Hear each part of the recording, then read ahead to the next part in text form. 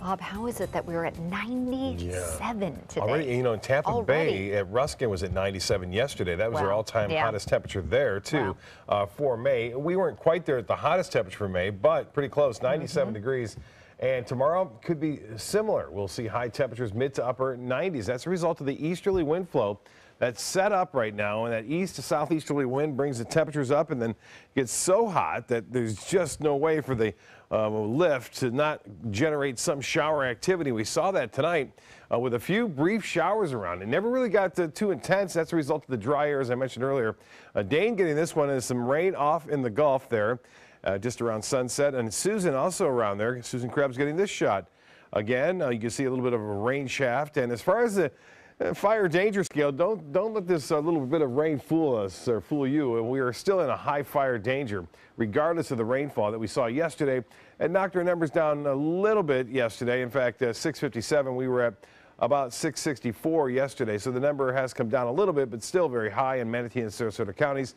And the little bit of rain that we had today is gone. It's moved out into the Gulf of Mexico. It continues to weaken as it pushes away. We are looking at some pretty heavy showers just offshore of Longboat Key, heading off toward the northwest. They will eventually dissipate out there. And as far as rainfall totals, and not all that impressive. Uh, in fact, uh, can only muster up about three tenths of an inch near Englewood, and this uh, these are estimates. Lakewood Ranch, about two tenths of an inch there, as well as on Key and downtown Sarasota, getting some rainfall as well. 79 degrees right now, still warm, still muggy. Winds are out of the east at 7, and the pressure 30.06 inches. That is on the rise. The high today, that too was on the rise at 97 degrees. Uh, our high today, 86 is our normal temperature for this time of year, so well above it, and 74 was the morning low. Those winds will stay out of the east. They'll be anywhere from 10 to 15 miles an hour in the morning and pretty much in the afternoon. That means you get a wind like that, it's going to pin that sea breeze right close to the coastline. So if we see showers develop again tomorrow, they'll be right near the coast and they'll push quickly off to the west. So we're not expecting a lot of accumulation.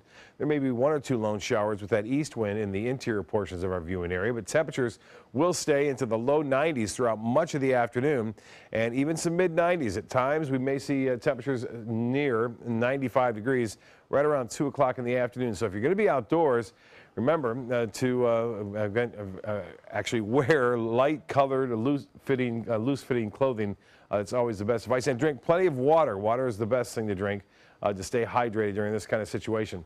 Area of low pressure causing some rough weather up in Iowa tonight.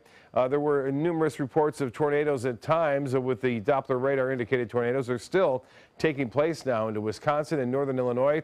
You can see those uh, tornado watches still in a place. For us, a different story. We're going to see uh, some moisture returning. You'll see all this here. This is a a nice uh, shot of tropical moisture moving in our direction. It won't be in place tomorrow, but it will be on Friday. And notice what happens on Friday. We really start to see showers and storms that really build in the afternoon and evening. And these will contain some lightning. In fact, we're expecting the possibility of some moderate to heavy showers and a few thunderstorms, especially on Friday and Saturday. Temperatures now really dropping behind this system out in the northern and central Rockies right now. Still very warm over the northeast at this hour. 76 in the nation's capital, 77 in Boston.